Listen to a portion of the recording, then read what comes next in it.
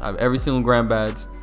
Uh, all my stats are 99. I'll Boy, if you don't get This is no joke. So, you might be wondering how I did it.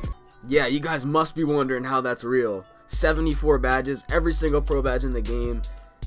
like every single badge, we're talking 74 badges, every single expressive badge on one player.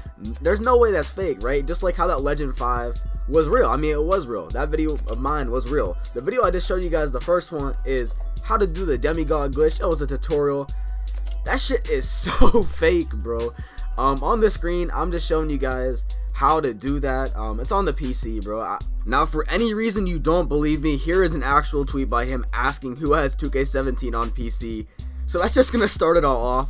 He literally asked if someone has it on PC just so he can get the mods, bro. That literally that should be enough evidence right there. But let me just hop into telling you guys why this shit is so fake. At this point, dude is getting huge off of the fakest shit I have ever witnessed. You know, I let it slide for a little bit. I'm sure everybody else has just ignored him. But it's to the point where he's literally it's gotten to the point where he's using cheat engine mods to show you guys and act like these things are real, bro. So all it is is it's literally just a cheat engine and he's trying to act like he has all the badges. Um, you can do anything with the cheat engine on PC. Literally, you change anything you guys could possibly imagine. You can change your rep, you can change your attributes, you can make your wingspan down to your feet, you can make yourself look like a totem pole. You can do anything to your my player that is possible in the game. Um, he's really, it's it's honestly getting to the point where it's just so sad that I felt like, you know, if I posted a video, I, I feel like it just put him in his place.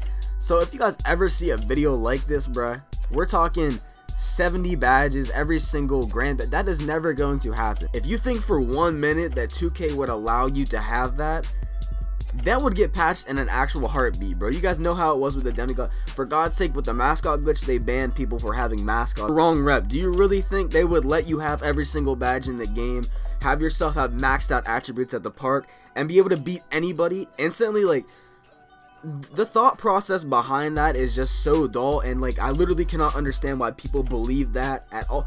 Like community I'm gonna tell you guys straight up clickbait and thumbnails if it's too good to be true it is fake bro. I mean it's just that simple if you're gonna see a video saying literally in the title or in the thumbnail showing every single grand badge you know it's fake. You shouldn't even click on the video. The only thing you should do you should just literally just report the video and that's it.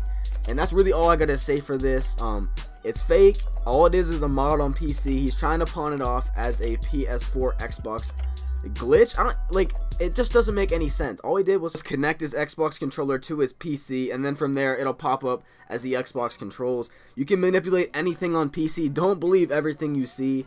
And with that it's been your boy JJ2K I am out. Peace